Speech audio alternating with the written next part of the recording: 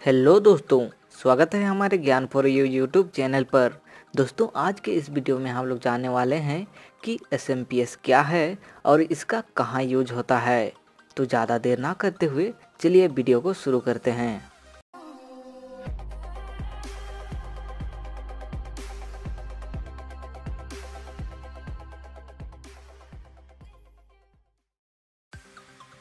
जैसे कि आपको पता है हर कोई आज की दुनिया में कंप्यूटर का इस्तेमाल करता है चाहे वो डेस्कटॉप करे या फिर लैपटॉप लेकिन उसके अंदर भी अलग अलग पार्ट्स रहते हैं।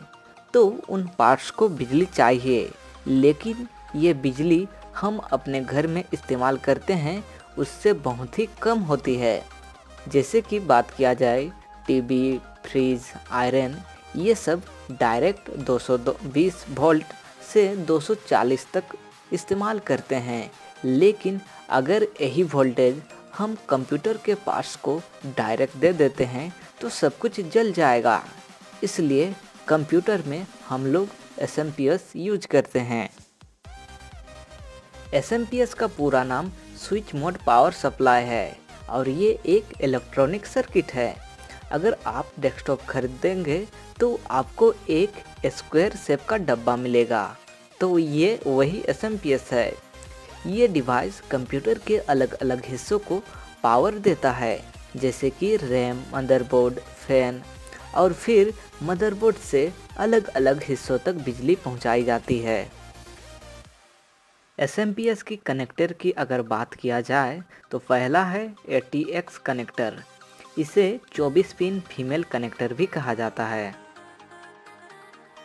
दूसरा जो है, वो है ए टी एक्स बारह वोल्ट कनेक्टर इसके चार पिन होते हैं और इसमें 12 वोल्ट पावर सप्लाई होता है।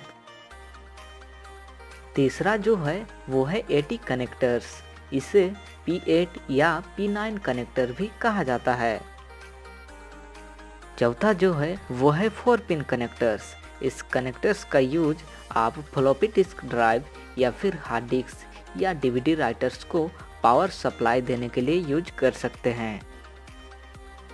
पांचवा जो है, वो है साटा आउटपुट कनेक्टर्स।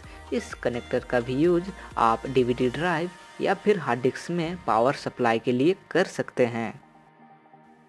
कंप्यूटर एसएमपीएस की अगर बात किया जाए तो वो इनपुट 220 वोल्ट लेकर आउटपुट में 12 वोल्ट 5 वोल्ट और 3.3 वोल्ट आउटपुट देती है। तो आशा करता हूँ दोस्तों, ये वीडियो आपको अच्छी लगी होगी। ये वीडियो आपको कैसी लगी प्लीज़ लाइक और कमेंट करके हमें ज़रूर बताएँ। और इसी प्रकार के कंप्यूटर नॉलेज और जॉब न्यूज़ के लिए हमारे ज्ञान फॉर यू को सब्सक्राइब करना बिल्कुल ना भूलें।